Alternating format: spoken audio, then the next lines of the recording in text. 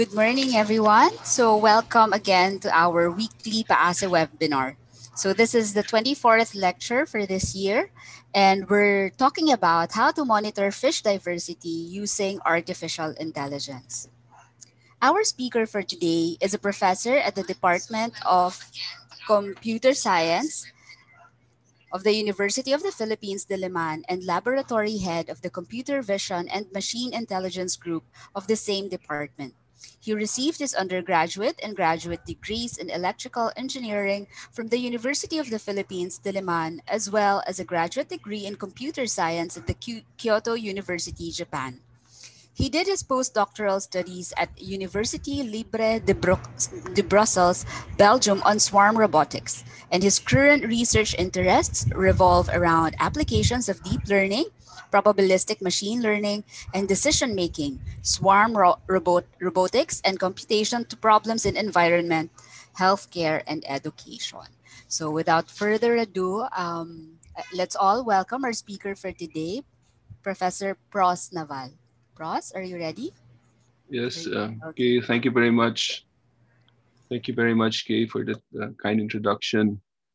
Uh, so good morning, everyone. Um, so today I'm going to talk about uh, how we could use uh, artificial intelligence to uh, monitor fish biodiversity in our oceans.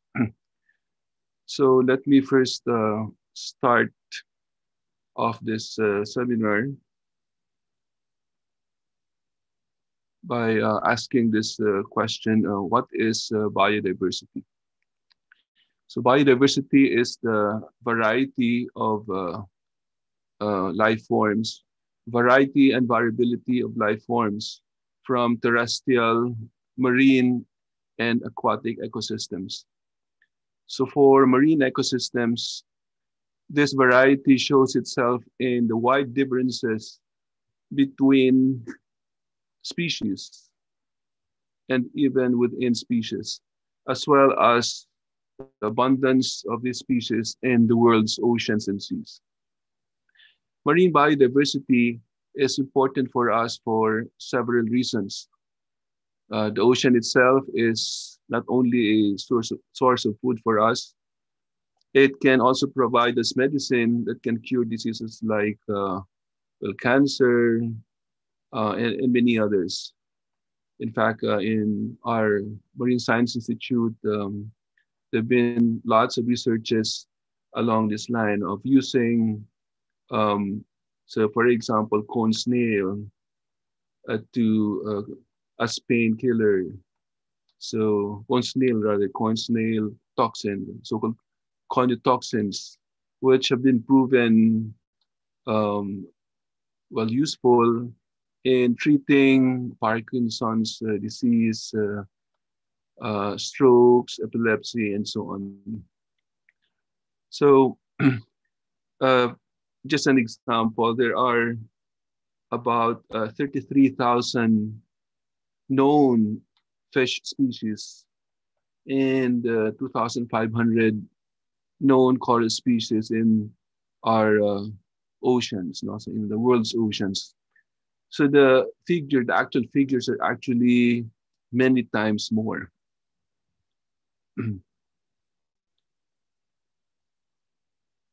so the coral triangle region has long been recognized as the global center of marine biodiversity.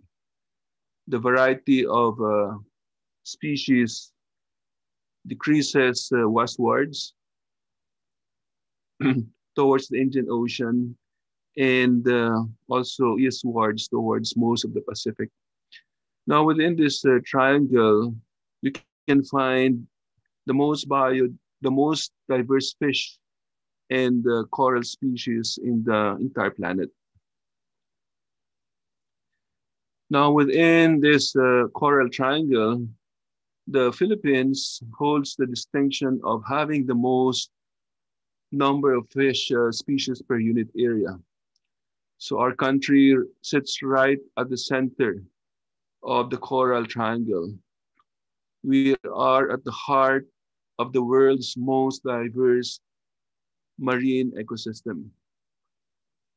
For fish and other marine organisms, high biodiversity in populations, in their populations, confers protection against um, climate change, pollution, and other environmental and man-made stressors. Now, just to um, illustrate how diverse our marine ecosystem is, our Philippine marine ecosystem is, uh, a group of scientists from the uh, California Academy of Sciences conducted an expedition not so many years ago. And in one year, in just one year of their expedition, they discovered more than 100 new marine species. And that's that's a lot. No? It's like one every three days um, of uh, uh, new, you know, discovering new species. Now, unfortunately,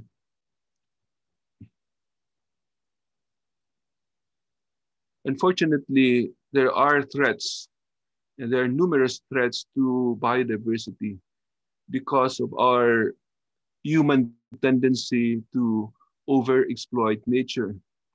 For example, overfishing, dynamite fishing, human carelessness, they all endanger marine sustainability, which affect not only the balance of life in our ocean, but also the social and economic well-being of communities that depend on the sea for their livelihood.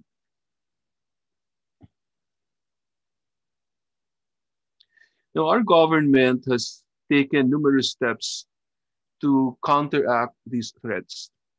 There are several laws that uh, regulate uh, fishing and mandate sustainable management of our marine resources. So we have MPAs or marine protected areas. These, these are no fishing zones where fish can breed and spill over to the surrounding areas.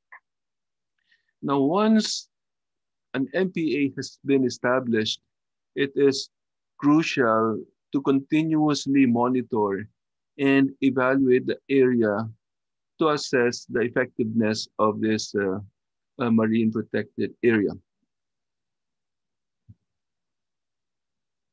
Just uh, well, a case study was done in uh, uh, in 1974 in uh, Sumilon Island. This is the so-called Sumilon Island Marine Sanctuary.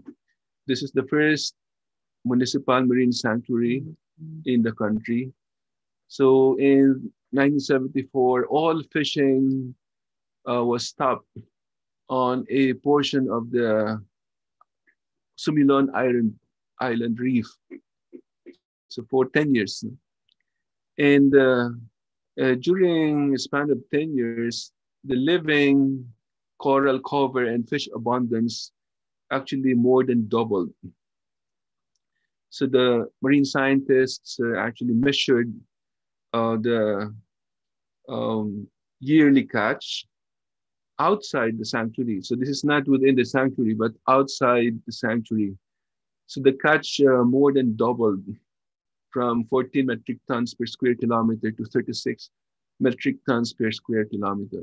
So this is an example of how uh, important these uh, marine protected areas are. No? So this uh, the spillover effect is actually uh, is actually uh, accepted um, by scientists nowadays. So it really does help in uh, increasing the the fish even outside the sanctuary. Um, so, so how did the scientists get all these numbers? They actually conduct marine health monitoring. So the monitoring of a marine protected area is done through what is called a fish uh, visual census. And this is done to determine the success of marine conservation and uh, rehabilitation initiatives. So this census is done by a fish expert by fish experts swimming along a transect with the aid of a scuba gear. So the, the experts counts uh, uh, the fish within an area and estimates the fish sizes and identifies the different species as well. So, so they need uh, this information to be able to compute for the biomass in metric tons per square kilometers, among in among many other uh, fish parameters. So, um, so as I've said earlier, the government has done something to establish uh, MPAs, and this uh, MPAs uh, actually monitored. In fact, the NIPAS Act requires the DENR to submit an annual report to the president of the country and to Congress on the status of protected areas uh, in the country. However, this is not done regularly due to lack of expertise. When we say lack of expertise, there, there are uh, many experts. There are many uh, marine scientists who can do fish visual census, but it's not enough. The number is not enough because there are actually uh, 1,800 um, marine protected areas that need to be monitored every year. So marine scientists uh, look for species like like all these uh, nice looking fishes uh, and many others, of course. Uh, so these are the so-called indicator species. Uh, they called so because they actually indicate coral resilience. So when a when you see all these nice fishes in a marine ecosystem, that means that um, the coral, the coral, uh, the ecosystem is uh, doing well. And um, we're also interested in monitoring, counting the target uh, fish uh, species for, for uh, commercial reasons. So these are the fishes that are sold in the market uh, for food. Now, the manual method of conducting fish visual census suffers from uh, biases, no, uh, and limitations, know, that uh, tend to overestimate or underestimate reef fish uh, assessments. Uh, for example, uh, when a diver is present in an area, obviously the fish they actually get ag- agitated or they swim away. So that somehow, by the very presence of uh, the diver, uh, the counts are already skewed in number. In number, no? so the uh, the fishes either some species uh, are attracted to the diver, so the count is uh, increased for that species, while many others actually uh, the number goes down because they are obviously afraid of uh, of the diver uh, generating bubbles, especially. And there's also that limitation of diver fatigue and diverse skill in accurate, accurately counting and identifying fish. So remember that the fishes are all uh, moving, and it's hard to uh, to actually count uh, the the fish per per per unit volume. So a, a fish expert would imagine a a a unit volume or more concretely a five by five by five meter unit volume um, in front of him or in front of her and uh, all the fishes that are inside that uh, volume, that five by five by five vol- uh, unit volume, or equivalently five by five area. will be uh, counted. Those that are outside that would, would not be included in the count. So that itself is already uh, challenging. It already requires a very high level of expertise. So um, uh, on above the surface of water, five meters, five, five by five is uh, easier to imagine, but underwater, everything is uh, closer by 30%. So, so that actually requires a lot of uh, practice. And then there's also a limited or no visual record of the actual census. So the divers uh, busy um, writing writing the values on the species, the names of the different species on on the slate, um, and uh, also and also remember that uh, there are many species. Now there are uh, in the Philippines there are close to three thousand species of uh, of fish, and therefore the fish expert must uh, memorize all these uh, names. The names are all in, you know, in, in Greek and, and Latin. And uh, not only they have do they have to remember the names, they also have to identify on site the uh, species of a, a particular fish. So, so, so that's very challenging and that requires very high level of expertise. Um, and uh, the, the fish expert must count uh, very fast. And then also there's the, the limitation of um, uh, having to stay underwater you know, for, for a limited uh, time. So uh, you cannot conduct surveys for extended periods of time for obvious reasons. Um, so, so that's so the, the, these are the challenges that uh, uh, a fish expert would uh, actually encounter. So uh, having to stay underwater for a limited period of time, counting uh, moving fishes, uh, while of course you know monitoring all all the instruments for for safety.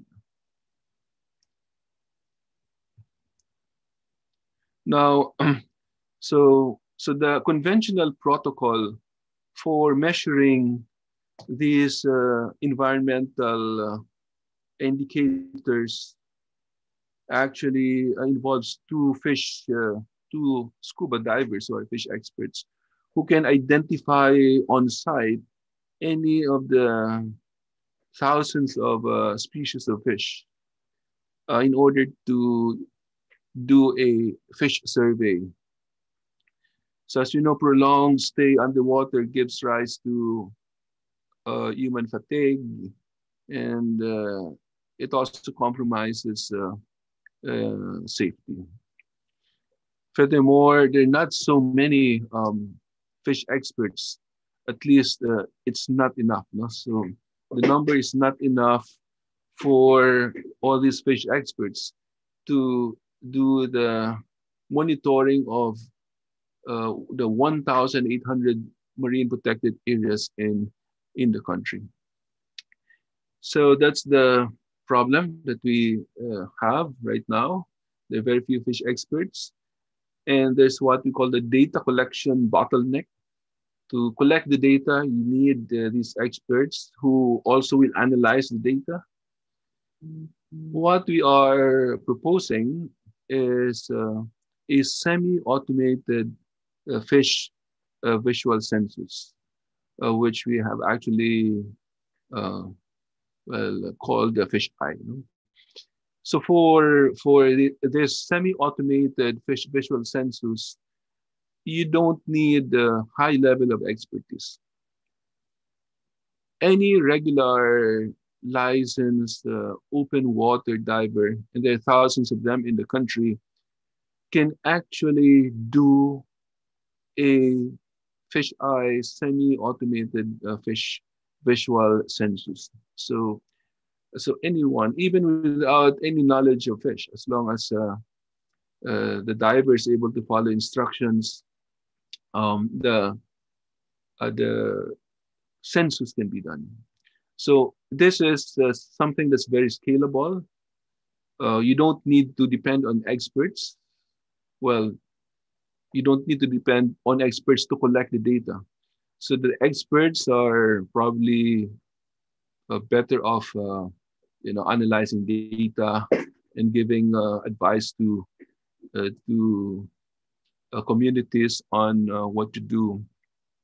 So again, FishEye is a semi-automated fish visual census protocol that allows any scuba diver any licensed scuba diver without any specialized knowledge of fish to conduct a fish uh, survey in a short period of time. So again, it is possible and it, and it is feasible to conduct fish uh, surveys in all the 1,800 sites, 1,800 marine protected areas in the country. Um, this, uh, what we are proposing is a do-it-yourself, so to speak, you know, fish uh, census. So um, since uh, practically anyone who can do it, any regular diver can do it. So uh, FishEye is uh, named so because we combine uh, fish and AI. So it's uh, yeah, uh, FishEye is uh, that's the origin of the name. Um, Fish plus AI, and AI here um, uses at the moment uh, deep learning. Um, so the feature, the main features of FishEye is that uh, there's the accuracy in collecting the data. And then uh, the image analysis uh, is uh, powered by artificial intelligence. And the information that is collected is stored in the cloud for later uh, analysis. So it's going to be there for years. So it won't um, it won't get lost because it's stored in the cloud. Information about a particular site uh, is uh, stored in the cloud. Now, um, so I'd like to emphasize again that uh, uh, there's no specialized uh, knowledge of fish needed in order to do a high quality survey. So this is a picture of uh, my student.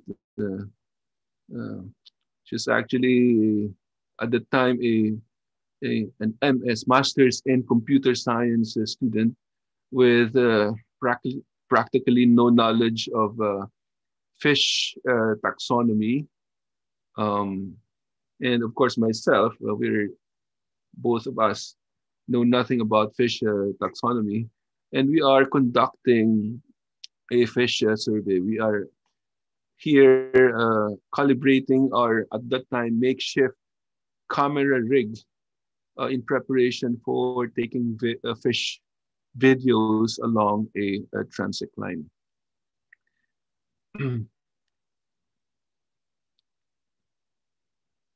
Um, so FishEye can do the following measurements.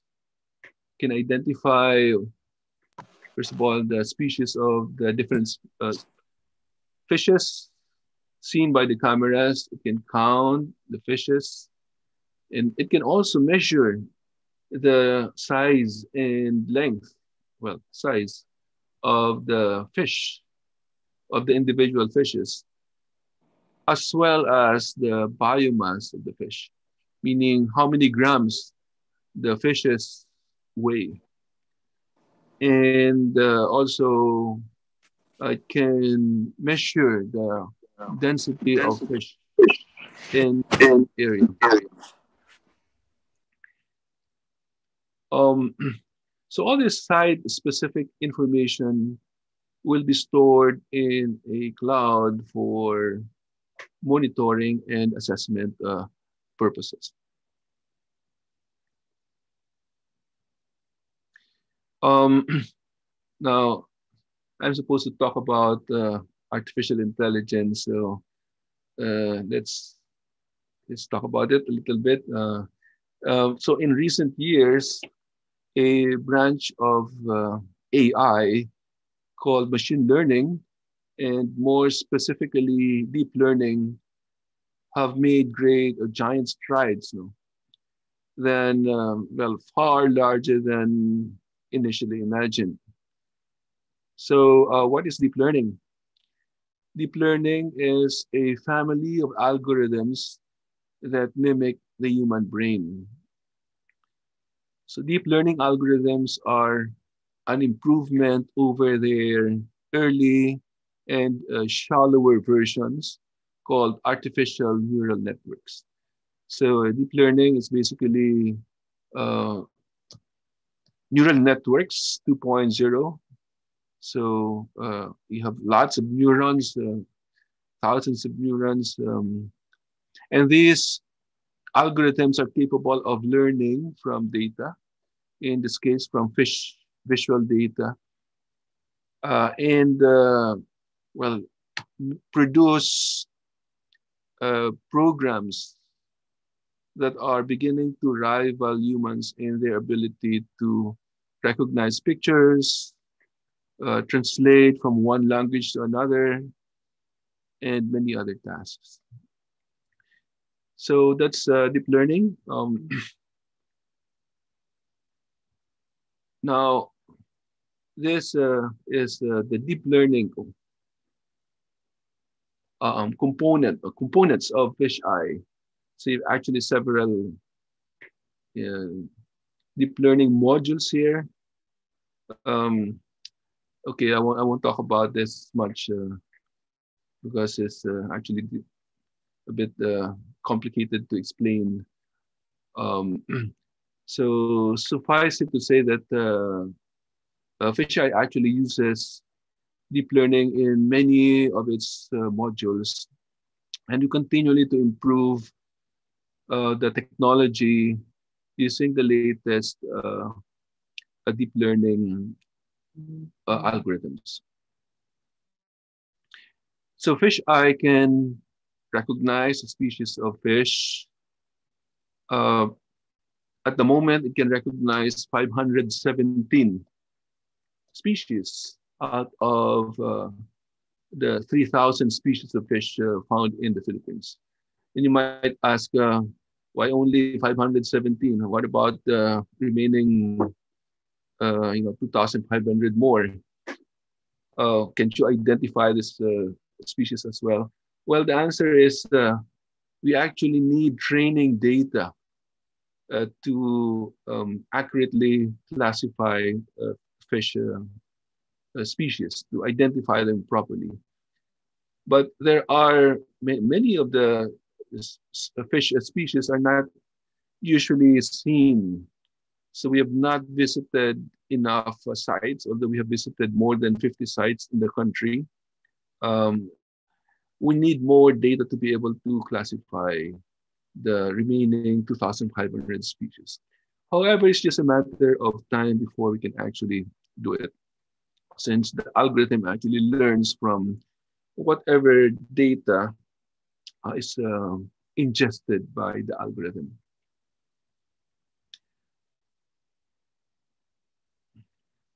So our algorithms are actually robust against uh, illumination changes. Um, uh, we didn't realize that uh, it's really very difficult to process underwater images. Uh, we thought that uh, okay, what works on the surface above the above the water will actually work underwater, and we were mistaken.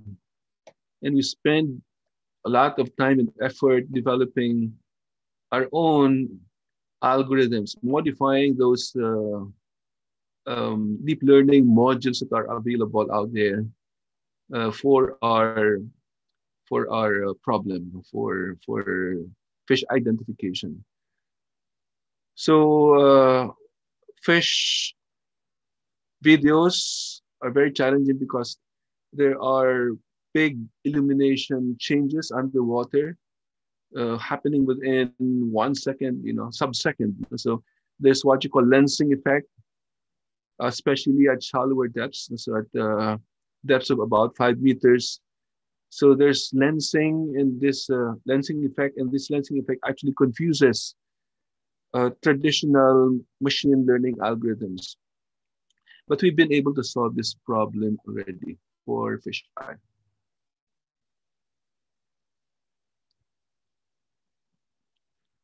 Now, uh, our algorithms are also robust against uh, spectral absorption effects. So what is this uh, effect? As we know, uh, light with longer wavelengths are strongly absorbed by ocean water. So the colors of the rainbow, starting with uh, red, followed by orange, then yellow, and so on, they start to disappear with uh, increasing depth. So this basically means that uh, what appears, say, yellowish, uh, at greater depths will no longer appear yellow. And uh, this is very challenging because, as we know, to identify fish, you depend on color a lot. So your algorithm has to take into account as well this uh, spectral absorption effect. So our uh, FishEye technology basically consists of a data capture device. So it's a rig with uh, um, four sets of stereo cameras looking at the four different directions, north, south, east, west, or well, can change the orientation, of course, but you can image forward, backward, to the right, and to the left all at once, simultaneously.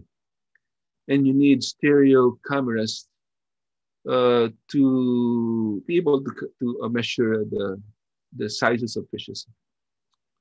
So we have a, FishEye data analyzer. Uh, uh, which actually processes, ingests the data and uh, uh, produces the following results. The fish ID, fish count, fish size, and, and other information as well. So FishEye is safer, is faster, and cheaper, and highly scalable. And with this, uh, we can actually do more uh, frequent uh, uh, census.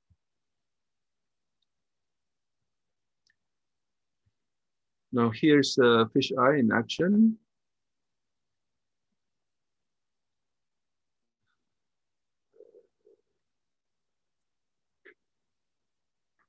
So it's uh, the software is identifying the different uh, species of fish, as well as uh, measuring their sizes and the masses.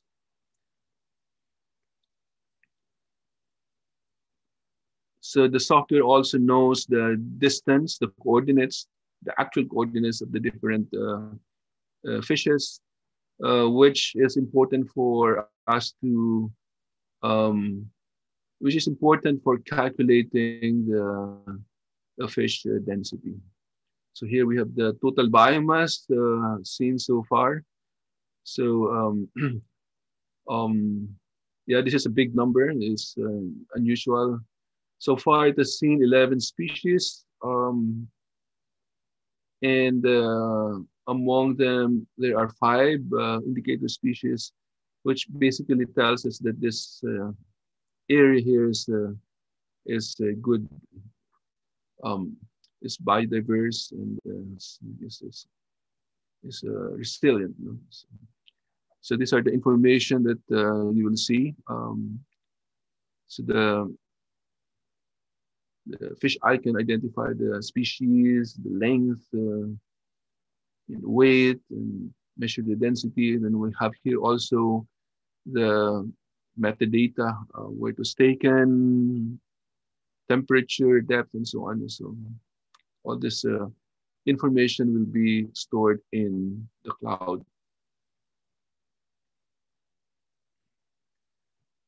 So this is your a cloud-based information system. Um, so the the fish videos and process information are geotagged uh, and uh, uh, they are all stored there for for researchers and um, uh, marine protected area administrators to analyze later on. So they can do comparisons between sites. They can do comparisons um, um, and analyze time series uh, data. So, okay, so for example, uh, well, we have here a plot of the, okay, uh, two sites, no? inside an MPA and outside the MPA. So you can see that uh, there's of course a difference and uh, you can measure the difference. Um, and this is okay at, at this particular on this particular date. So all this information are actually uh, stored there for later analysis. There's also a permanent visual record in the in the cloud. So this information is stored there, and this you, you know that uh, this how the coral reef uh, looked like um, four years ago. So um, if there's an increase in the number of fishes, that can be documented and, and all this uh, actually uh, avail- available for everyone, for, for those who have access to, to see. So 10 years from now, you still uh, could, should be able to access this uh, information. Then um, uh, th- it's the software system can actually assist uh, decision makers in uh, answering questions like uh, uh, is it time to fish at this particular time? So so if your data for example is the following then uh, it tells you a lot. So so on the board vertical are the different um, fish types uh, obtained from a biodiversity survey. And the horizontal axis is the percentage of the maximum fish length for the different fish uh, classes. So this uh, graph here shows us that most of the fishes are not yet mature. So the jacks are just 62% of their maximum length on average. So all this uh, information um, are crucial for for uh, well informing LGUs on whether to fish or not fish at, a, at this particular time, for example.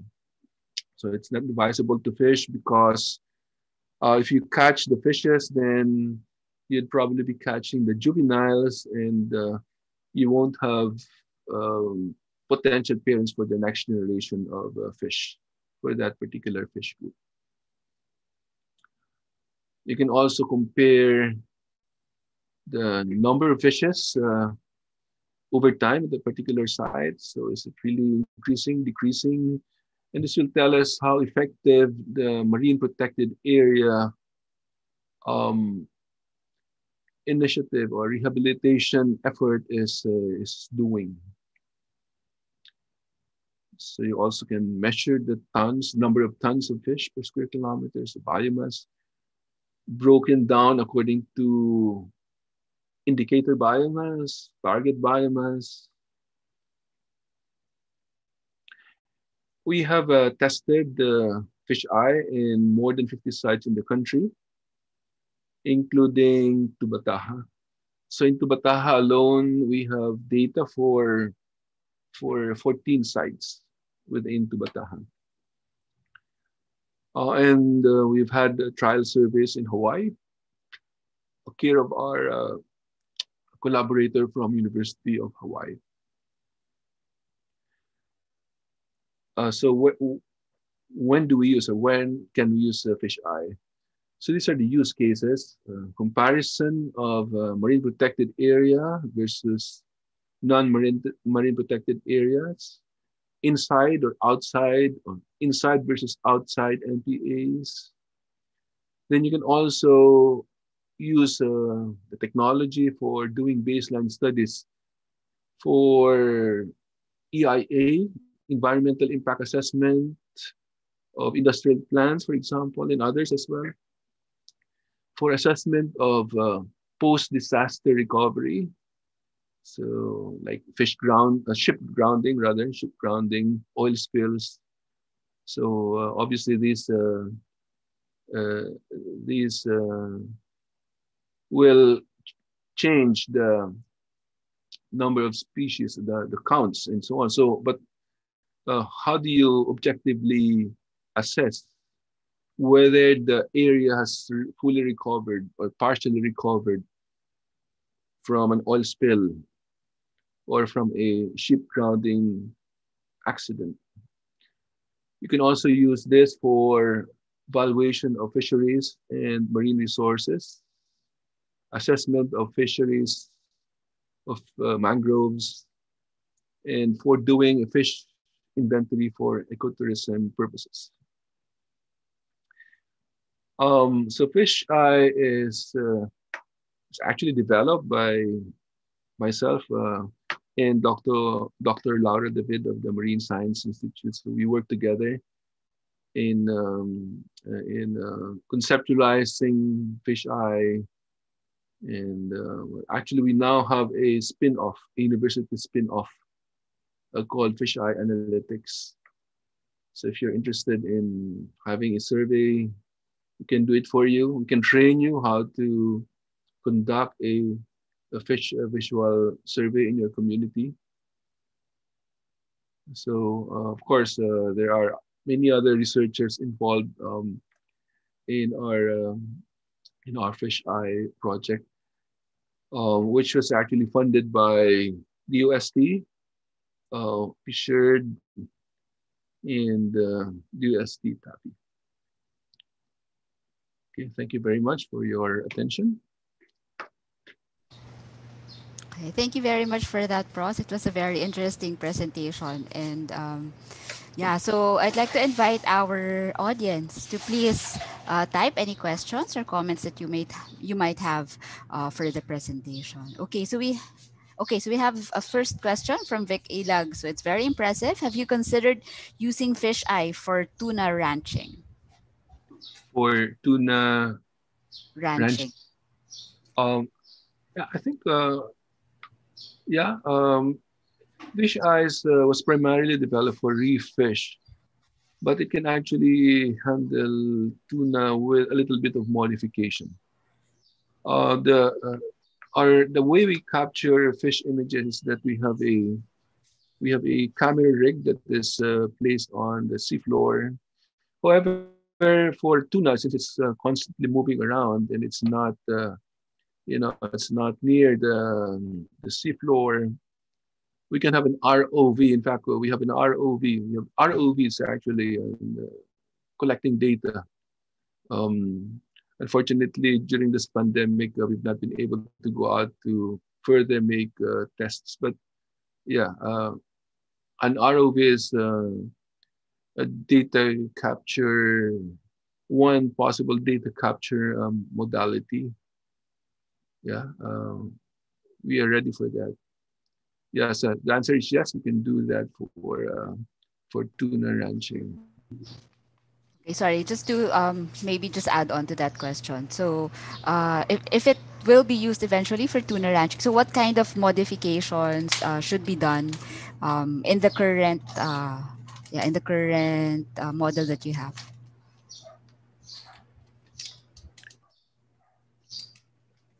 Uh, as far as the software is concerned, there's little, there's hardly any modification that uh, we need to process tuna data. In fact, it's easier because you're going to deal only with just a few species of tuna. Um, so as long as the, the ROV can, ROV cameras can capture the images uh, we can actually measure the sizes of the tuna, and therefore, since we know the size, we can measure the we can approximately measure the the weight of each one of them.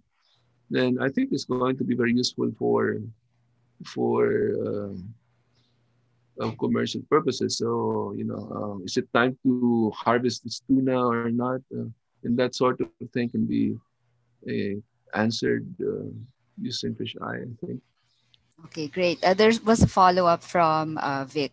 So he's asking if you haven't been approached by tuna ranchers yet.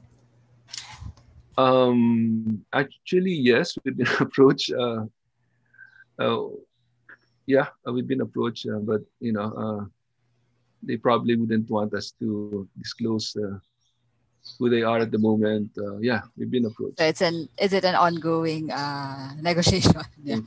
So. All right. Okay, I'll take one question first from the YouTube channel. Um, it comes from Angeline Dow. So congratulations, Pros. Um, is there a, something like a FishEye citizen that involves normal citizens to monitor on and protect marine biodiversity, like making it live and allow the citizens to do the tagging? Oh, yeah, that's an interesting concept. Um, it can be done by by you know they, they could be FishEye could be um, uh, the, the collection the data collection could be citizen science here. Uh, so any ordinary citizen with you know the right uh, equipment can actually conduct a survey. Yes it's possible it's, it's possible to organize a group uh, doing that um, regularly. And it's an interesting idea. So yes, very possible. And uh, of course, that requires a, lit- a little bit more organization. Yeah, there's no there's no obstacle for for doing that. Yeah. Yeah, that that is quite interesting, and I suppose you'll be able to gather more data if a lot of people will be empowered to actually do the ta- the tagging. Yes, and they own the data. So uh, the nice thing about FishEye is that uh, you get the data, you own the data, uh, we'll give you back the results and we will not share the results with anyone without your permission so it's yours uh, yeah it's like you know some kind of data privacy act for fishes also you know? Oh okay interesting Okay, so the next one comes from Roland Jeronimo. So he's been following your work and they're very promising. Can the fish eye be used also for identifying fish out of water? For example, caught fish in landing centers or market. It could be particularly useful for LGUs and even private individuals to help them with fish catch monitoring, even if they don't have the same expertise of NGAs like BFAR or NFRDI. Yes, um, we have actually some. We have we have the software already. In fact, uh, this was done uh, three years ago. Uh, you can use an ordinary cell phone to capture fish. You know the the species, uh, the the fishes um, that are being sold, and identify them, and even measure the the size of the species. So we, we, we have a project like that. This was done by uh, some undergraduate students. Um, yeah, and also uh, we the, we are having talks with a company outside the country, in New Zealand particularly, uh, and their interest is to to actually look at, you know, let the fish analyze the the catch from cameras mounted on the ship. So the fishing fishing boats. So that's the that's the project. Um, yeah, uh, it can definitely identify species, uh, fish and measure their sizes above uh, above water. It's easier. In fact, it's easier. So. Okay, thank you for that. The next one comes from Edsel Peña. So great talk. In terms of uncertainty quantification regarding the inference that you could make, for example, if you are estimating the number of a certain type of fish or the mean or median, how do you perform this from the data obtained through FishEye? Um, we we of course we calibrate the cameras. Um, we've made tests on the accuracy of the length of the uh, fish uh, size calculation. Um, at a distance of one meter, meaning the object or the fish is one meter away from the camera, um, and this is underwater, the accuracy could be as high as one millimeter. And I myself was very surprised at this. Now imagine, uh, uh, you know, uh, measuring the size of an object down to millimeter millimeter level. Uh, of course, you have to take into account the fact that the fish is moving, and when we have, when you have a moving ob- object, there's what you call image blur. So now you don't know where is the exact boundary of the fish. You know? So, but then um, for marine scientists, uh, plus minus 10% is already acceptable.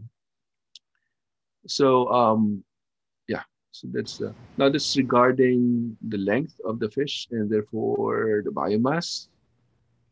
Uh, regarding regarding the accuracy of uh, fish identification, for we're hitting 97% accuracy uh, of fish identification. Okay. So Yeah, okay, good. Thanks. Thanks for that. Uh, so just another comment from Roland. So together with an AI fish ID system and a model for converting volume to weight, this could be a powerful tool for LGUs to monitor how much fish and what types they are actually getting. So it can also be useful in identifying rare and new species from markets. Okay, and then um, Giselle has a question. So major fisheries in the country like sardines, milkfish, shrimp, shrimps, prawns, and any aquaculture applications. Have you um, have you used this for for such aquaculture applications? Um, so at the moment, it's uh, the software is specialized for fish. No, for for shrimp, uh, we need to to modify it a little bit to process the shrimp data. Um, for aquaculture, yeah, as long as it's fish, uh, we are okay, I think.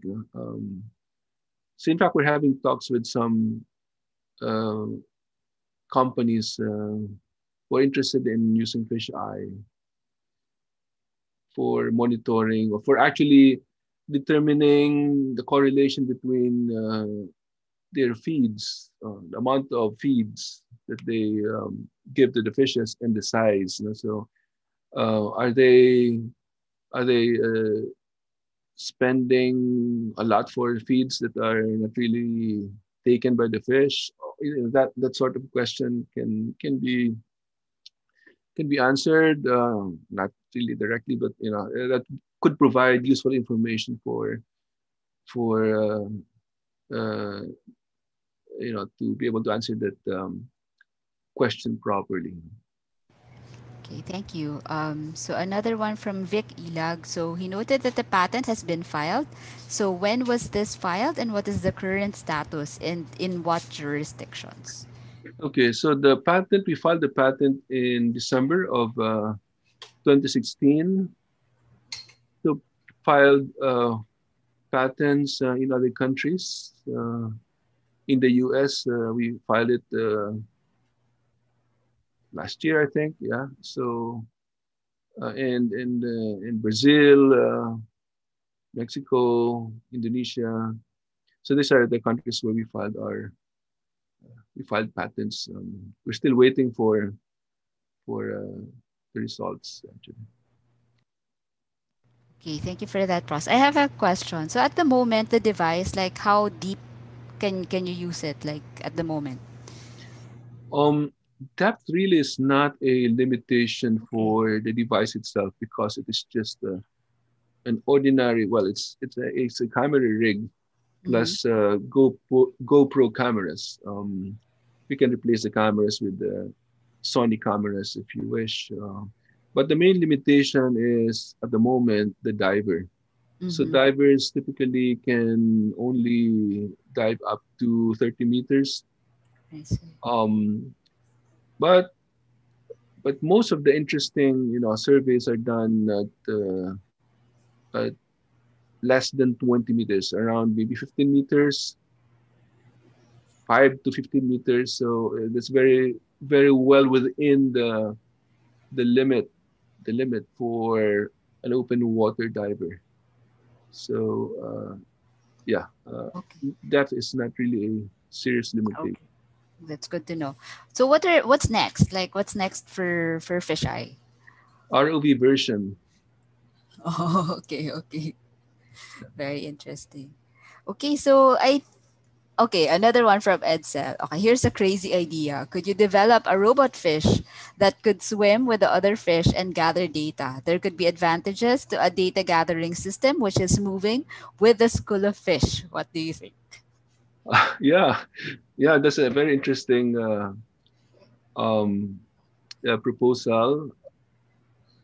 Uh, actually, that that idea has been implemented, but not exactly the same idea. But fish, uh, a robot fish swimming, uh, has been implemented in I think Spain, where the robot fish swam around to collect um, information about pollution uh, in an area. So, what is the um, you know chemical profile of this uh, this bay, for example? So, there's a fish that's going around and measuring uh, the chemical content, you know, oxygen, the chemical, you know, you know all different parameters.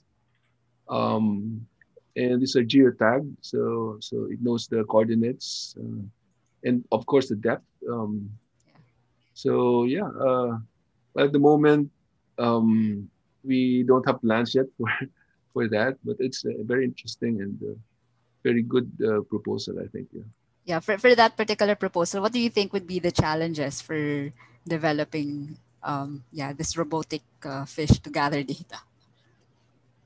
Um, funding i think is well besides that uh, i think we have enough um, enough engineers and marine scientists uh, who can actually make uh, a fish robot uh, yeah um, so, okay, uh, you can also ask Elon Musk to fund it. Edsel suggested.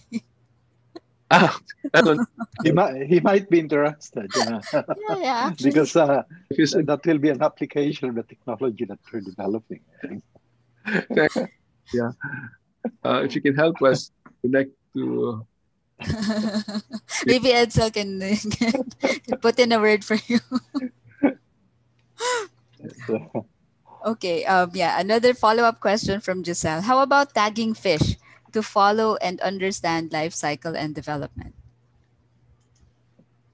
Oh, okay. Um, it's probably best answered by a marine scientist. Okay. Um, yeah, I think uh, tagging fish. So, okay, so if you tag fish, I think the best is to, yeah, I think it's possible, but for FishEye, well, FishEye is not adapted for that. Yeah, we have to develop a, another technology for for maybe putting a tag on a fish and let it move from place to place. Yeah, yeah, I think uh, that's uh, uh, possible, um, but not at the moment for FishEye. It's interesting, also very interesting. Tagging, yeah. Yeah. Okay. Thank you very much, Pros. A very interesting talk. Do you have any final words for our audience before we close the session? I think we've exhausted all of the questions. Uh, well, um, well, FishEye is uh, actually just uh, very new. It just uh, spun off um, just just last year, December last year. So uh, we thought that we could, uh, you know, start. Going full blast uh, this year, but unfortunately, because of the current pandemic, we could not even um, uh, do surveys. We can, we're not allowed to visit the different sites. So, but you know, um, once the pandemic is over, I think uh, we can go back. And uh, if you have, uh, if you want your sites uh, surveyed, then just contact us at this email address um, and uh, thank you very much also, Kay, you know, for you know for allowing me to talk about uh, FishEye and, and basically biodiversity using AI in this uh, webinar. Yeah, thank you also for ha- having the time to uh, lecture for PAASE webinars. Um, okay, uh, before we close, I just want to promote our uh, next speaker. Okay, let me just share my screen. Okay. Okay.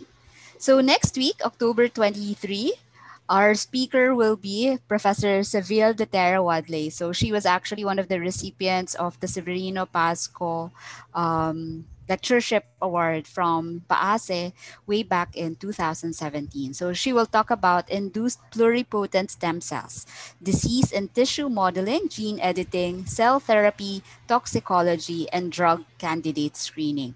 So if you're interested to join us next week, please don't forget to register at bit.ly sdwadley. So again, it will be on Friday at 8 o'clock in the morning. Um, so you can find PAASE at our website at paase.org and our recordings of the different webinars are uploaded in PAASE Webinars YouTube channel, which is at bit.ly slash PAASE Webinars. So I guess that's it for us today. Um, Pros, can you also send me a copy of your presentation so that if it's okay to share with uh, our audience. Okay. Thank you very much, everyone, for listening. So thank you, everyone. Have a good day ahead. Good evening for those of you who are in the US. So hope to see you next week. Thank you, guys.